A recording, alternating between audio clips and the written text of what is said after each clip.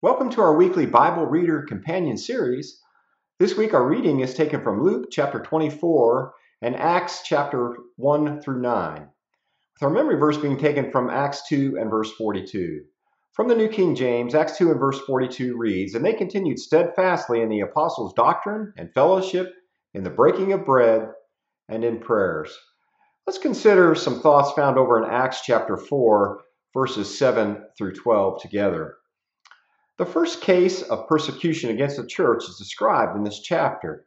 Peter and John are put into custody because their preaching on the uh, resurrection of Jesus disturbed a number of the religious leaders. In spite of this, the number of men who believed came to be about 5,000.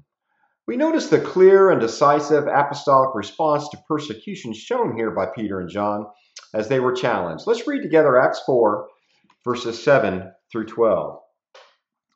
And when they had set them in the midst, they asked, By what power or by what name have you done this? Then Peter, filled with the Holy Spirit, said to them, Rulers of the people and elders of Israel, if we this day are judged for a good deed done to a helpless man, by what means he was made well, let it be known to you all and to all the people of Israel that by the name of Jesus Christ of Nazareth, whom you crucified, whom God raised up from the dead, by him this man stands here before you whole. This is the stone which was rejected by you builders, which has become the chief cornerstone. Nor is there salvation in any other, for there is no other name under heaven given among men by which we must be saved. It's interesting. They ask by what power or by what name they had done this, the, the miraculous work they're talking about. The same question they ask of Jesus in Luke chapter 20 uh, in verse 2 after he cleansed the temple. The judges were seemingly referring to the healing of the lame man when they asked this question. They were asking the source of their power and what name the apostles had invoked as the one from whom their power and authority came. Note that this was predicted as would happen uh, to the apostles by Jesus. He told them that they were going to be brought before the council for his name's sake, and here we have this coming true.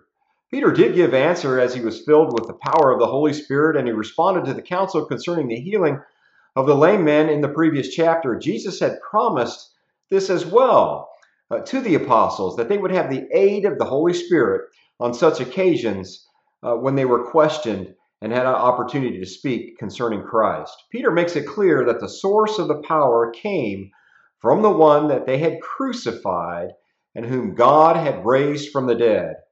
Peter used this opportunity to preach Christ, his death, his resurrection. Remember, this was the same court that had recently condemned Jesus to die.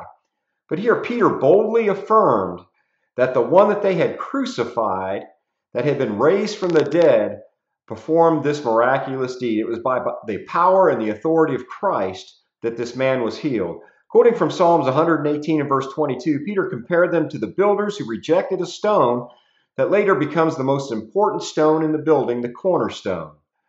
You have to wonder if they made any connection at all to the facts that Jesus quoted from the same passage of Scripture in Luke 20 and verse 17 after giving the parable of the wicked husbandman.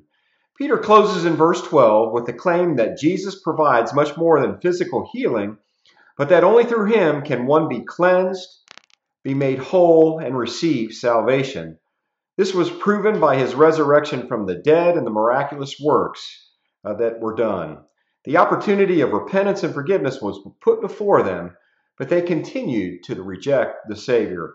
Nowhere in the world is there anyone besides Jesus who can save us, Peter clarifies. There is no second Savior or through some other man made process. It is only through Him and obedience to His Word that we can enjoy true fellowship with God and those of the like precious faith in him. Let us be mindful as we uh, respect, excuse me, the authority of Christ and we devote ourselves in service to him. Let us be mindful of those in the first century as we read in Acts chapter 2 and verse 42 to be devoted to God. And they continued steadfastly in the apostles' doctrine and fellowship, in the breaking of bread, and in prayers. Thank you and join us again tomorrow as we continue to meditate on God's Word together.